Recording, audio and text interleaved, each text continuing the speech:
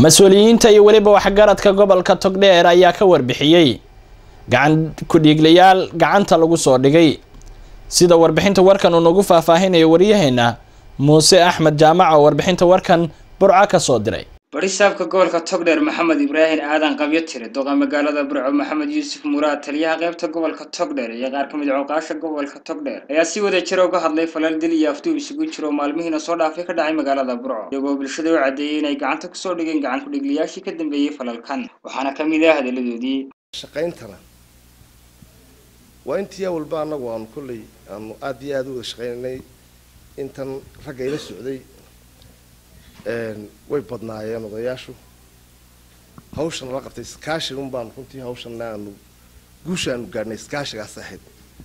Iyo isu caloolsamaantaa nabadgelyada la sheegayo dee kolley magaceeda aanu leenahayo oo maxamedna oday weliba inoogu wada yahayo idinkaa intana nooga badsata. Runtii aan ugu mahad celinayaa oon aada ugu mahad celinayaa raggii ka hawlgalay hawshaa ilaahayna ku soo guulayay guusha waa la wada leeyahy guuldaradana cid baa lagu canaantaa guusha waa la wada leeyahay gobol ahaan baynu u wada leenahay. Oo mujtamac ahaan baynu u wada leenahay. Haddii laakiin guuldara ka dhici lahayd oo la waayi lahaa nimankaa waxa weeyaan tog dheer waa caynkaasaa ka dhacdo nimankii halkan joogo kayntan jooga baan la soo qabaninoo dad badan baa la canan lahaayoo xam badan baa dhici lahayd. Oo meelahana hadal laga shubi lahaa. Laakiin saaka cid waliba way ku caloolsan tahay. Isu raacnay ma jiro waayo int intuu leekaa intuu leekaa gogosheedu waa sideen xildhibaan bidhaad mahadsantay gogosh bustahaygii anigii ku tukanayna salaaddii maqrib halkii aanu ku qabanay aanu salaaddii maqrib iyo salaaddii cishe ku jamcinay waxay naga ahay.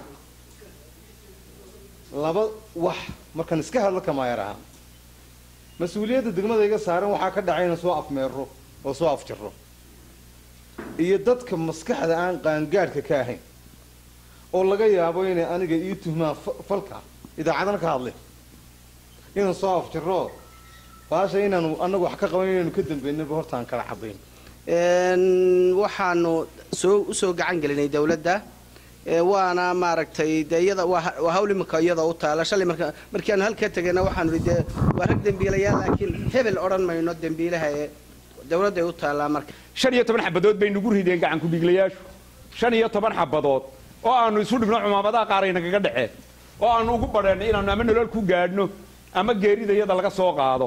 Ugu dambeyntii waxaa hadalka soo afmaray barisaabka gobolka togdheer maxamed ibraahim aadan qabyo tire isagoo uga mahad celiyey cid kasta oo gacan ka geysatay soo qabqabashada gacan ku-dhiiglayaasha aan joogay saddex iyo labaatan dil kaasaa ku saddex iyo labaatana.